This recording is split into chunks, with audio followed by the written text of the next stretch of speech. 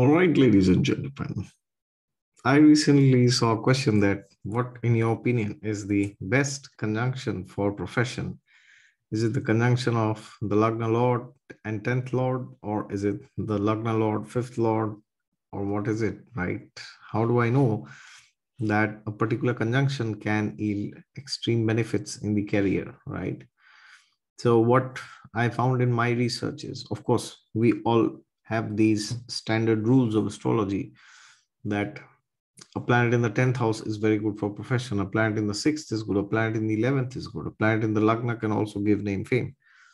But what we do not understand is that there are also planets in general, irrespective of where they are placed, they can give very good rise in profession. Okay. So, one such planet is actually Mars. And who is the other planet? It's Mercury. Why do I say this? Because Mars and Mercury, you see, what is Mars? You got to understand, right? Mars is the lord of the Lagna in the Kalpurush Kundli because Mars lords Aries, right? So, Aries, uh, the lord of a zodiac sign, will tell you the physical manifestations related to that particular house. Okay. And the Karaka of a particular house tells you what is the most important uh, quality of that house, which may be physical, uh, metaphysical, it, it could be abstract, it could be intellectual, it could be emotional, or it could be anything else. It may not necessarily be physical, right? But it tells you what you need to get ahead in life, right?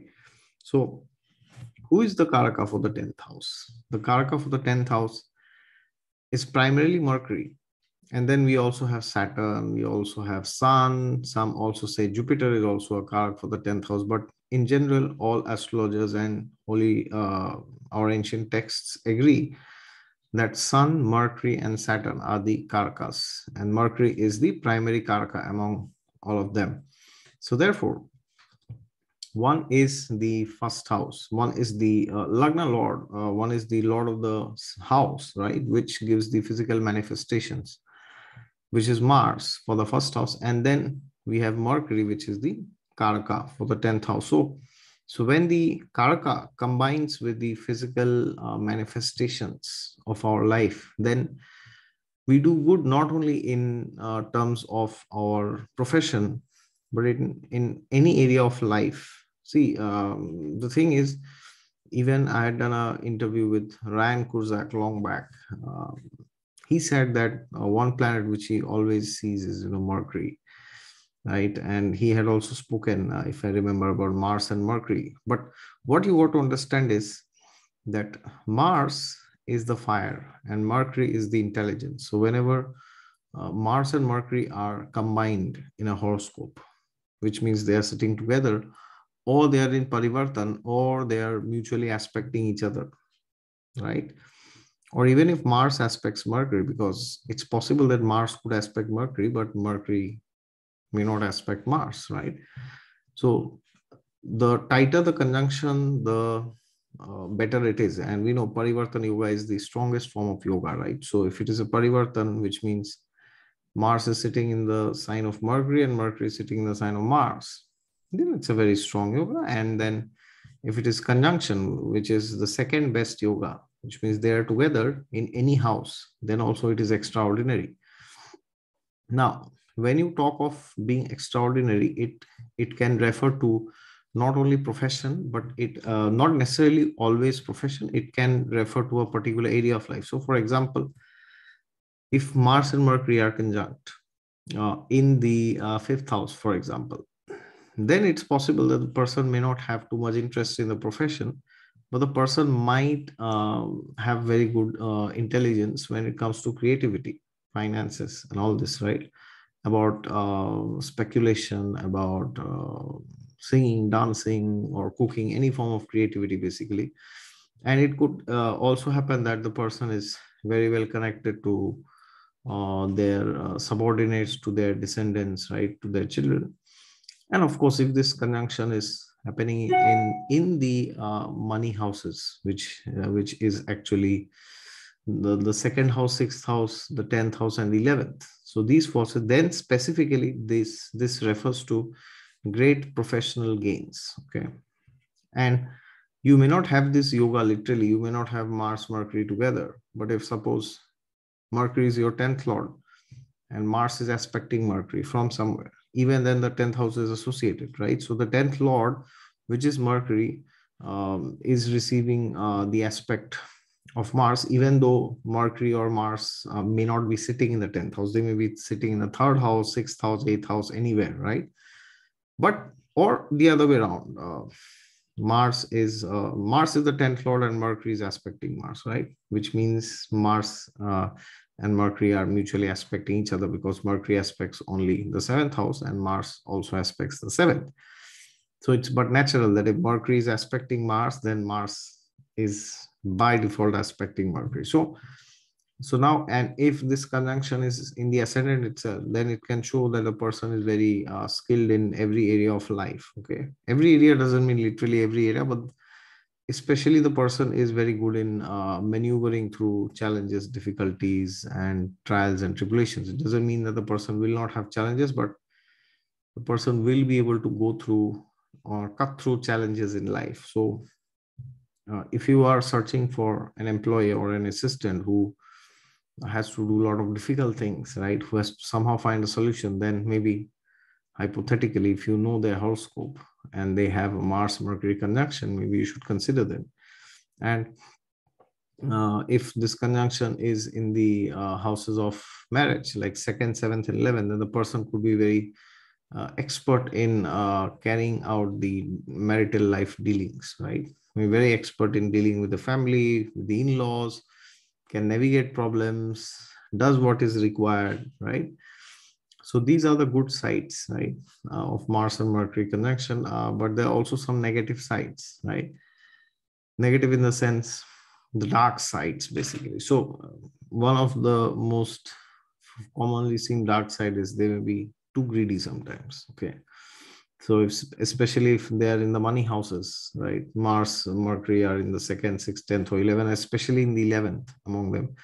It can uh, make a person too much greedy sometimes, and because of that, they might want to take shortcuts. Okay, of course, uh, this this will only happen if uh, the person has a bad Jupiter, has a bad Lagnesh, has a bad fifth lord, bad ninth lord. Only then this will happen. Otherwise, it's not that anybody who has Mars Mercury conjunction in the Artha houses, in the money houses, uh, they will all, all be crooks and liars and thieves. It doesn't mean that. Okay.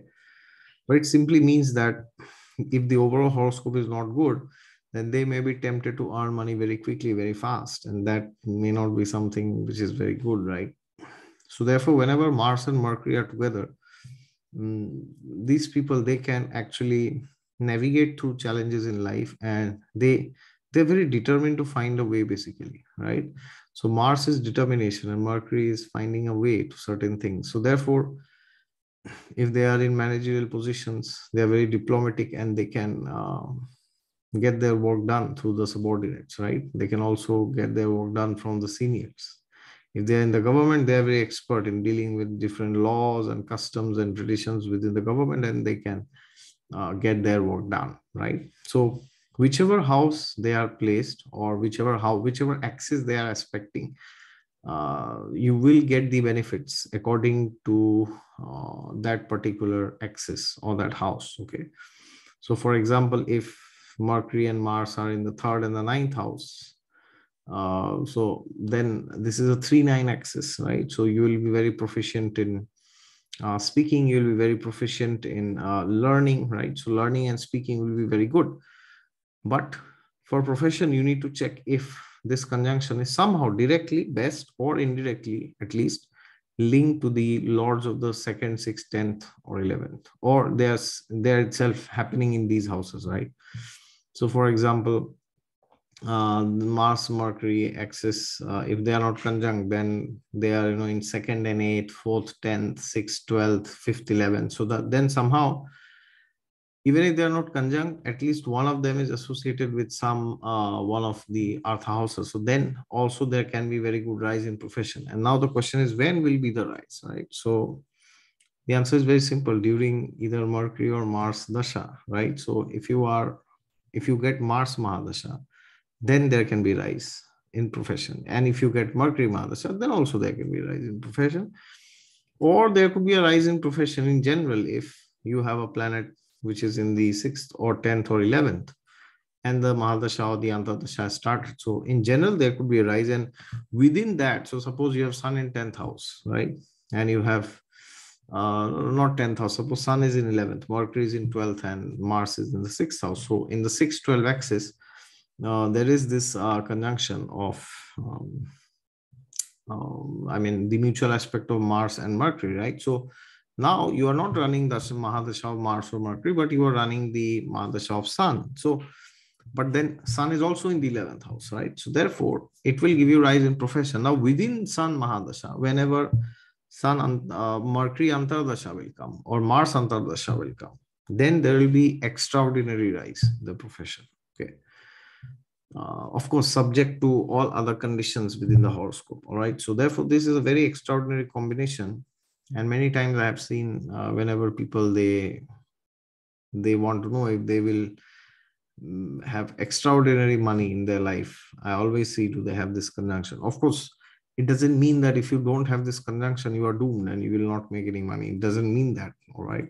But it def- but having this conjunction definitely gives you an extra edge provided you use it in the right way and on the wrong side it can also go to like cheating others um, yeah money laundering it can go to like financial fraud forgery uh, and yeah a hell lot of other things basically all of them are negative all right so therefore if you just see that somebody has this conjunction don't just blindly tell them oh wow you're going to be a millionaire uh, but they may default on a million dollars, right? They may they may abscond, right? Like even in India, we have uh, famous examples of people who have absconded to UK, US, and to other countries of the world by taking a lot of money. Of course, uh, I'm not saying that all of them have this conjunction, but what I'm trying to tell you is just because you see this conjunction, do not brand somebody as uh,